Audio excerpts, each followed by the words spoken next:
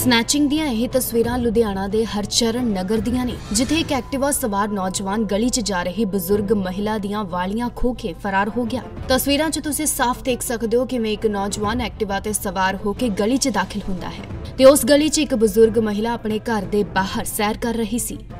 Activa ਸਵਾਰ ਬਜ਼ੁਰਗ ਮਹਿਲਾ ਨੂੰ ਇਕੱਲਾ ਦੇਖ ਕੇ ਵਾਪਸ ਮੁੜਦਾ ਹੈ ਤੇ ਆਲਾ ਦੁਆਲਾ ਦੇਖਦਾ ਹੈ।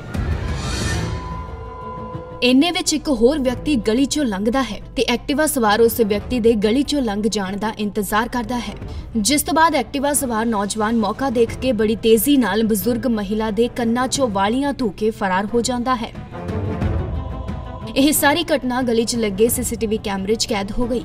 ਜਿਸ ਤੋਂ ਬਾਅਦ ਬਜ਼ੁਰਗ ਮਹਿਲਾ ਦੇ ਪਰਿਵਾਰਕ ਮੈਂਬਰਾਂ ਨੇ ਪੁਲਿਸ ਨੂੰ ਸ਼ਿਕਾਇਤ ਦਰਜ ਕਰਵਾ ਦਿੱਤੀ ਫਿਲਹਾਲ ਪੁਲਿਸ ਵੱਲੋਂ ਪਰਿਵਾਰ ਦੀ ਸ਼ਿਕਾਇਤ ਤੇ ਸੀਸੀਟੀਵੀ ਕੈਮਰੇ ਦੇ ਆਧਾਰ ਤੇ ਦੋਸ਼ੀ ਖਿਲਾਫ ਮਾਮਲਾ ਦਰਜ ਕਰਕੇ ਅਗਲੀ ਕਾਰਵਾਈ ਸ਼ੁਰੂ ਕਰ ਦਿੱਤੀ ਹੈ ਲੁਧਿਆਣਾ ਤੋਂ ਨਰਿੰਦਰ ਮਹਿੰਦਰੂ ਜਗਬਾਣੀ ਟੀਵੀ